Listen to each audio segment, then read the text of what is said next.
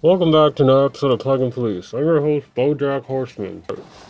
I gotta take this off. That's not gonna work. What's going on today, guys? Welcome back to another episode of Plugin Police. I'm your host, Massive Shaper. Today we'll be investigating Shaperbox 3 by Cableguys. Coincidentally, this came out pretty close to Infiltrator 2, Definitely nothing strange about that, which I would deem is its most avid competition. I recently gave Infiltrator 2 a 10 out of 10, the maximum score, so I'm curious how this sizes up next to that. According to their website, Shaperbox is your go-to tool for rhythmic inspiration, musical motion, mixing magic. Nine Shaperbox effects come together in one easy modern interface. Well, they always make it sound good on the website. Is it really that good though?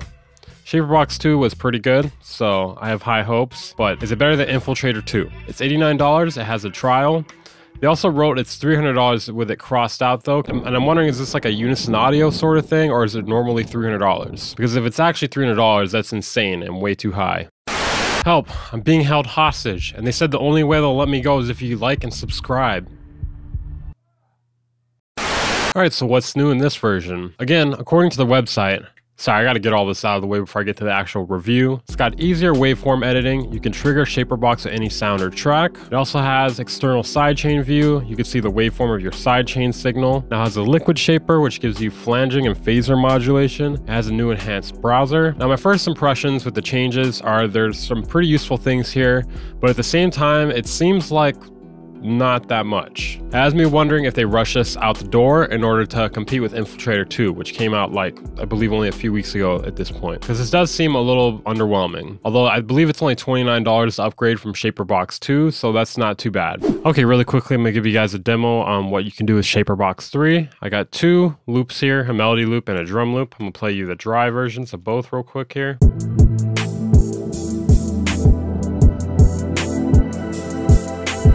So yeah, just some quick loops I took from my Patreon loop pack. Could start with a preset and tweak it from there, but uh, you know what? We'll start from scratch here. So we'll take the drums, we'll take the time one here, click down to the different parts here, and get, you know, reverses, stutters, scratches, tapes, pitches, a pattern. Let's grab a pattern here. I like that one reverse sound here. So that's the main thing I'm going to keep here. So I'm going to get rid of these points here that I'm not a big fan of. So I'm just going to turn it on for this second bar here.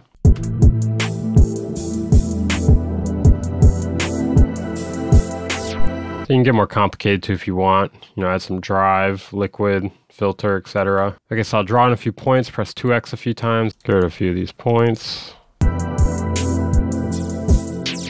You can get a lot more complicated, obviously, if you'd like to. Usually, though, if I want to save time, I'll just, you know, mess with the presets. I may do that for the second one here. On the melody loop now, I may pick like a filter rhythm. It's pretty cool.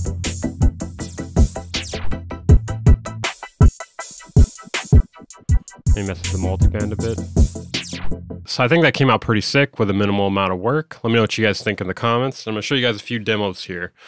Actually, that was a lie. I'm gonna show you guys one demo here. Massive liar here. I use Shaperbox and everything within this beat here, including the master, and I also turned this synth into a Game Boy sounding ARP synth.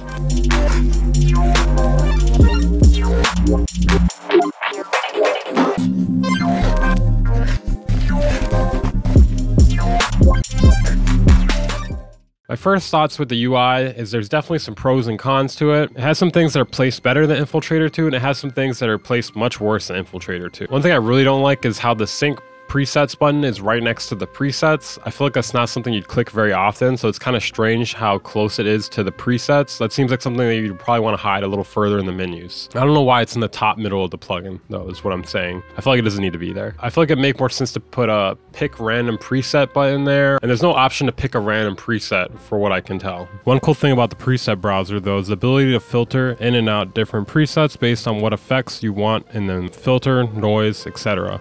One not cool thing is how it lacks the ability to lock any parameters while changing presets. I noticed this doesn't have as many effects as Infiltrator 2, and it also doesn't have as many presets as Infiltrator 2. Shaperbox 3 comes with 600 presets, and Infiltrator 2 has over 1500. Remember, it was so many they, they couldn't actually count it, they just said over 1500. One thing that makes this stand out a bit from Infiltrator 2 though is the multi-band feature. You can have different effects on different bands, and you can also affect each band differently with the same effect. I don't find this to be something I would use used too often, but it's definitely cool with filtering. If you're doing some sort of filter, stutter, or uh, pattern effect, because then you can have different patterns playing on different bands. One feature I like about Shaperbox is how you can visually see what the other effects are doing in the background while you are working on a specific effect. Overall, I didn't have any problems with the way it functioned. It also seems pretty CPU efficient as I was able to stack many of them into a single project without any issue at all. Again though, I also have a pretty good computer. The ability to use MIDI or audio to trigger a shaper is great, but it's something that's expected at this point in my opinion. Now, is this better than Infiltrator 2?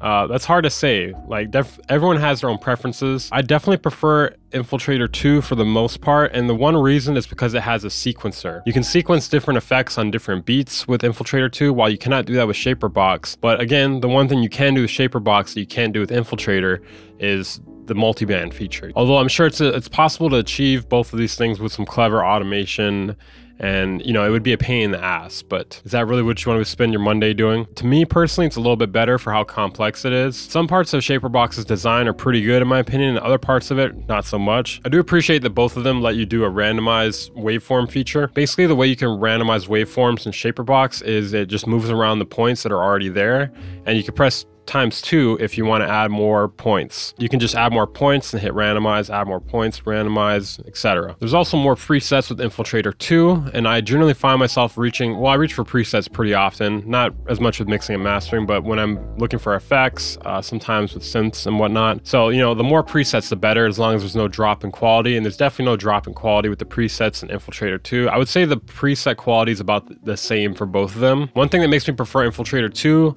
a bit more is there's a vast number of effects. For instance, Infiltrator 2 has some different spectral effects. Those are some of my favorites to go for. I don't think Shaperbox 3 is bad by any means. I just think Infiltrator 2 is a little bit better. And for that reason, I give Shaperbox 3 a 8 out of 10. They're also in a similar price range too, so you know that's worth considering as well. It really depends if how much they raise the price on this though. If it actually goes up to $300, then you know, I may lower that score down to like a seven or a six even because $300 for this is insane. Uh, 89 or whatever it was, that's not too bad, at least for what you can do with it. That's it for this video. I'm your host, Massive Shaper. Uh, thank you for watching. Make sure to check out my Twitter, my Instagram, and my second channel. I'll see you guys in the next video. Subscribe, please. They're still not letting me out of this room. What is wrong with you? Why haven't you hit the subscribe button? This isn't good, man. Do you know what they're gonna do to me? Probably nothing. But still, you should do it. If I get to 25,000 by the end of the year, that means I have to shave my head. That means I could cosplay as Decap or Anthony Fantano. Don't you want to see that? I mean, I actually don't really want it to happen. But it seems like it might happen anyways, so subscribe or don't. I don't really care. Anyways, happy Halloween. I actually meant to film the whole video on Halloween in this outfit, but that video was supposed to come out the day before, and yeah, things got messed up, so had to splice together. Sorry, guys. Hope you forgive me.